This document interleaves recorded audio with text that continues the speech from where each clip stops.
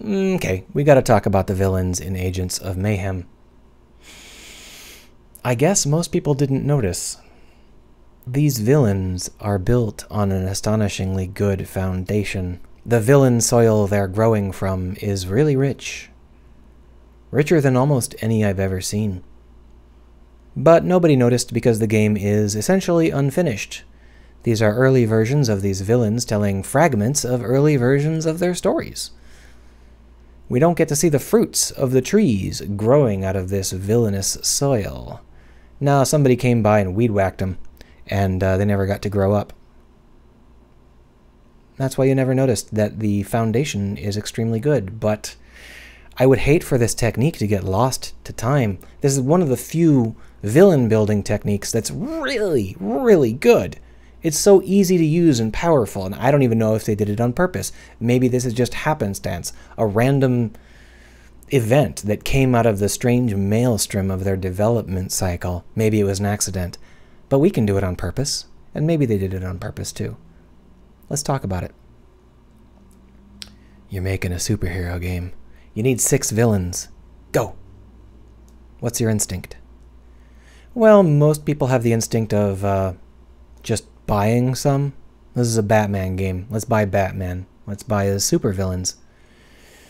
That doesn't really work great. Um, I've never been happy with it. The problem is that those supervillains are comic book supervillains. They're invented year by year by year by year by year to oppose Batman solo. For the most part.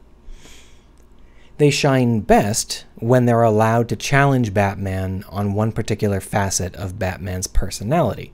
That's the whole point. That's the reason they exist. Joker is codified as someone that is basically nihilist Batman. So his whole shtick is that he tries to pull Batman down into nihilism and try and shake Batman's goody two shoe foundations, and that's when he shines the most. And we can say that for all the most of the various Batman villains. Uh, Catwoman, basically amoral Batman.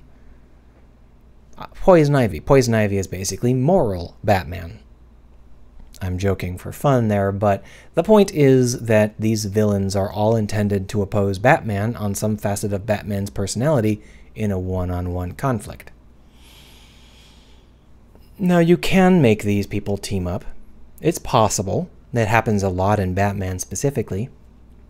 But to me, it always feels very forced. There's always some stupid shtick that I have to turn my brain off to allow, and one villain is usually allowed to shine, and the rest are just there to make up numbers. The more villains that are combined into one operation, the less each villain shines, and if your villain isn't shining like a supernova, they're not a super villain, are they? So, this is not a very good setup, and people have gotten so used to how comic book villain works, you know, the comic book approach to supervillains, that they just sort of assume that that's how it always is. Yeah, when you got more supervillains, they don't shine as brightly. But that's just because they're in the wrong genre. That's because they're comic book villains that were invented to do something else entirely. In a video game, the villains are the tapestry. We're going to be passing the hero off from villain to villain to villain to villain to villain, and we want every single one of those exchanges to feel natural and empowering. We want every single exchange to make the next villain feel like a supernova. We want every single villain to always feel big and cool and have something meaty to talk about, something that really drives them. We want their pathos to take front and center and really overwhelm the player that should be what we're aiming for with a supervillain. We fundamentally can't get that if we build our supervillains like comic book supervillains are built, one by one to oppose a hero. It's not a very good approach. And the problem is, even if we invent our own supervillains, we often try and inherit the philosophy behind building comic book supervillains, which is each one needs to be distinct, have their own shtick, uh, each one needs to oppose the hero in their own way, and none of that really works for a video game, especially if the player is allowed to choose between several different heroes. No, if the villains in your video game have to work together, then it would make sense, I think, to build villains specifically to work together. Which doesn't exactly sound like a galaxy brain moment, But when's the last time you did that? When's the last time you built supervillains specifically to support each other? Let's talk about how they do it in this game specifically. All of these villains are techno villains. They're all mad scientists. They all have the same theme. And that should feel kind of anathema. That should feel very strange if you've ever tried to design a pack of supervillains. Supervillains that have the same theme, doesn't that feel small? Doesn't that feel constrained? Nope. Not at all. Because they all have different lenses on that theme. They all have different obsessions and takes. And instead of pulling out some facet of Batman's personality, they pull out some facet of the theme. The most important feature of this is that they can work together, and that's true on both a shallow level and a very deep level. Let's talk about the shallow level. They can work together in a literal sense. So let's say that currently we're fighting Mr. Gaunt down here. Well, he is a mediocre singer that's obsessed with becoming a pop star. So he uses his technologies. He's very good at creating technology. He uses his technologies to make better performances. He's got uh, a necklace that does all of his auto tuning for him. He's got like light shows and smoke, and he's got a floating barge that flies over his various, uh, you know, performances, and he flies around, and he just puts on great performances. And that's the idea. He uses his technology to get lots and lots of people to follow him, and he turns into a supervillain because he decides that if his performances aren't good enough, he'll just flat out hypnotize people. And so that's what he's in the middle of doing during this game.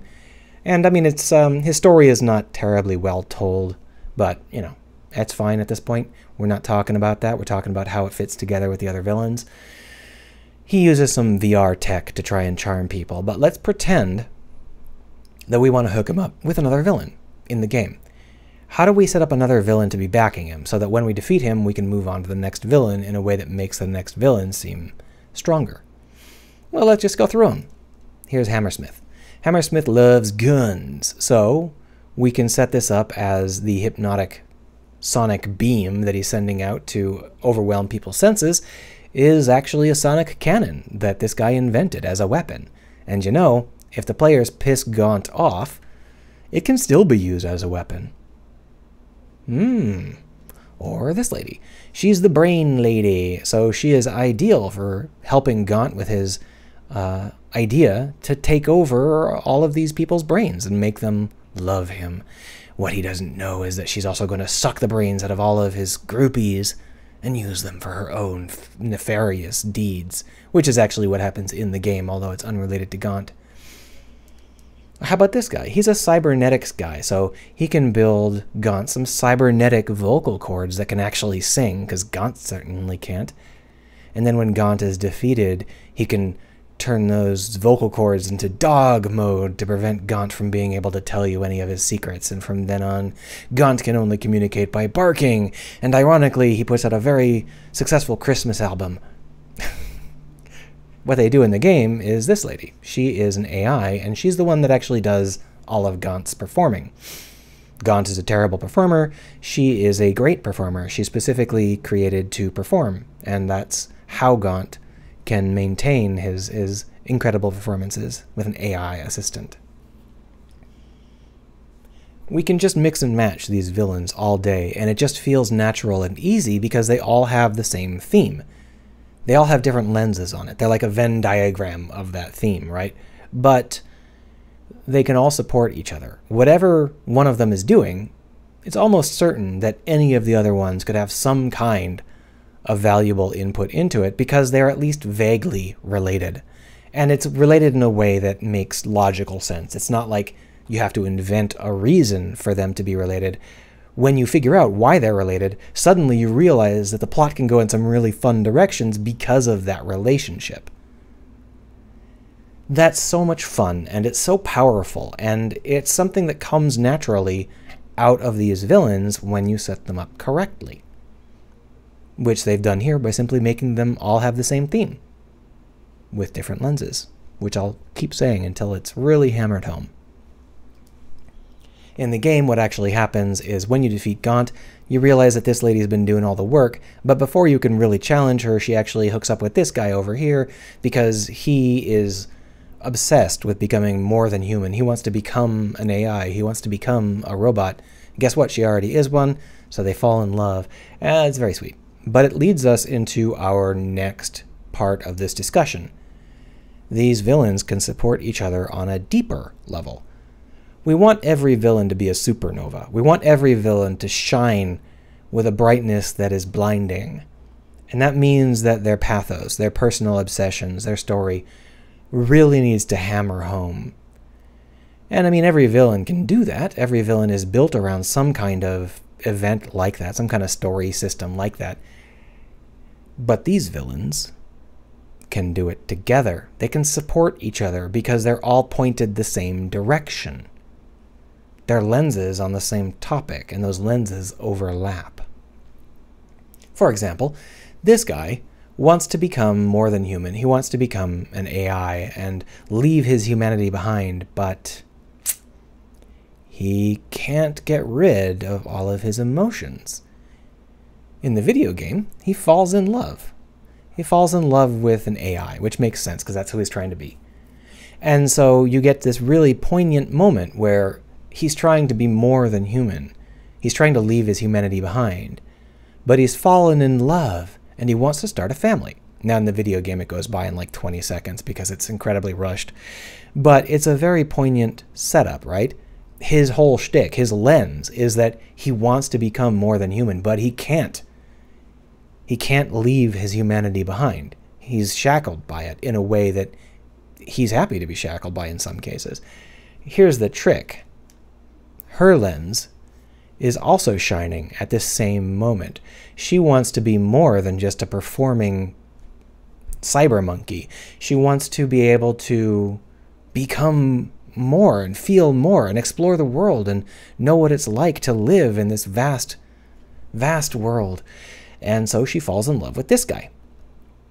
And uh, then he dies, sort of he dies. And uh, yeah, she suddenly becomes a lot more human than she ever wanted to be when she is racked by grief.